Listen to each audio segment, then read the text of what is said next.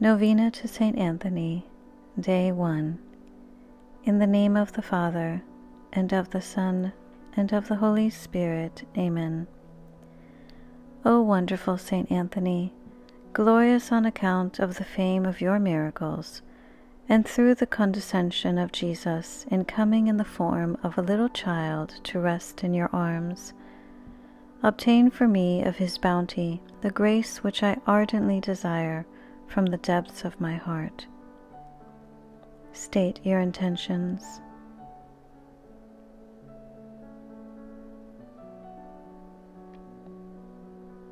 You are so compassionate toward miserable sinners.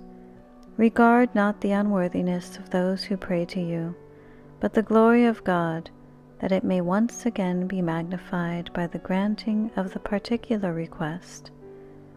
State your intentions. Which I now ask for with persevering earnestness. Our Father, who art in heaven, hallowed be thy name. Thy kingdom come, thy will be done, on earth as it is in heaven. Give us this day our daily bread, and forgive us our trespasses, as we forgive those who trespass against us. Lead us not into temptation, but deliver us from evil. Amen. Hail Mary, full of grace, the Lord is with thee. Blessed art thou among women, and blessed is the fruit of thy womb, Jesus. Holy Mary, Mother of God, pray for us sinners, now and at the hour of our death. Amen. Glory be to the Father, and to the Son, and to the Holy Spirit, as it was in the beginning, is now, and ever shall be, world without end. Amen. Holy Saint Anthony, gentlest of saints, thy love for God and charity for his creatures made thee worthy while on earth to possess miraculous powers. Miracles waited thy word, which thou wert ever ready to speak for those in trouble or anxiety. Encouraged by this thought, I implore thee to obtain for me the favor I seek in this novena. The answer to my prayer may require a miracle. Even so, thou art the saint of miracles.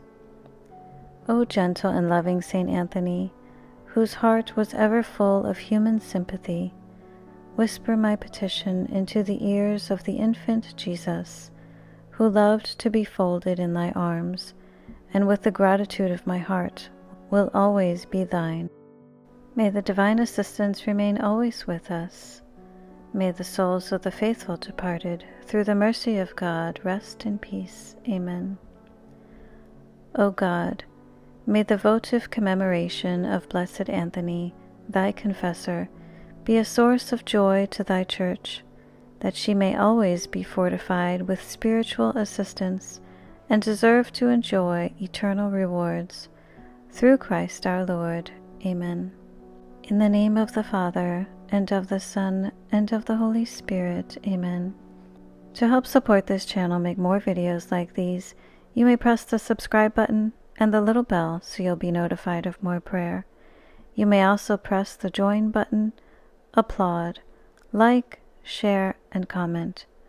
May God bless you and all those you love. Until next time, keep praying.